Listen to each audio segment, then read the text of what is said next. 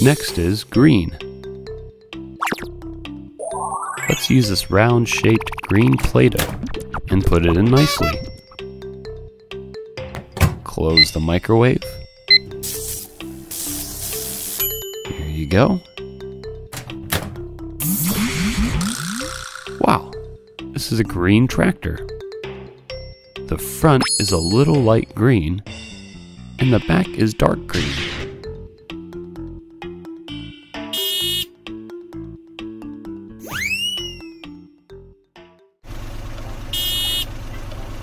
A green tractor is going somewhere. Where are you going?